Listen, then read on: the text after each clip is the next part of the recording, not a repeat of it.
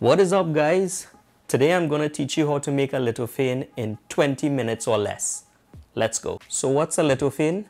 A lithophane is a 3D print that allows you to see a picture through your 3D print by varying the thickness of the print.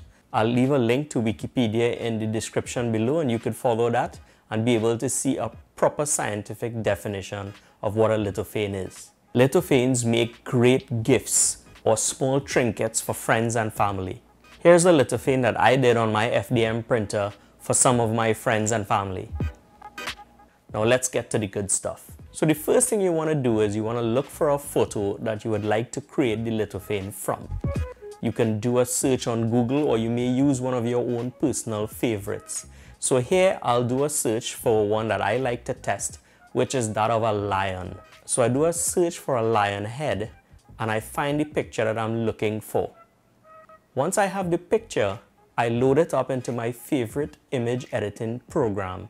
And what I do from there is I adjust the levels. So I make the lights and darks balanced and then I save it as a grayscale file.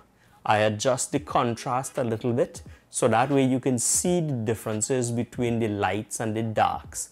Here I'm using GIMP, which is a free image editing software, but if you have Photoshop or something similar, you could use that. I also like a very good piece of software that's free for Windows called paint.net. So if you're on Windows, you could use paint.net. If you're on a Mac, you could use this software which is called GIMP. So once I've edited the image, what I do is I save it and I export it as a JPEG file. And then I go to my browser and I go to lithophanemaker.com and I adjust these settings. I'm going to leave in the description the exact settings I used for this particular lithophane. Once you're finished, export your file as an STL file and once you have your STL file, you can load it up in your favorite slicer and proceed to slice it. You can then put that on your printer to be printed. So what are the advantages of using an SLA printer for lithophanes? Well, if you were to do this same exact print on an FDM printer, it'll probably take you about 5 to 6 hours minimum. This lithophane took over 24 hours to print on my FDM printer. And the reason for that is to get the resolution that you need, you're gonna have to print it vertically. But on an SLA printer, we have such a minute resolution to work with, you can actually print this flat. So this particular lithophane that you see here, I actually printed it flat. And guess what? It took 11 minutes to print. So once it's done, I give it a wash with IPA.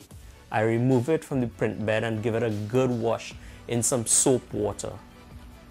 I then put it to cure and here you have it my lithophane printed on an SLA printer. If you'd like to see the settings I used on the printer to print this lithophane, click here. This lithophane was printed with Elegoo Grey, but you could get better results by varying the colors. You can use white or you can use some other contrasting colors. Clear does not work very well, so try to keep away from that. If you have any questions, please leave it in the comments below I'll be very glad to help.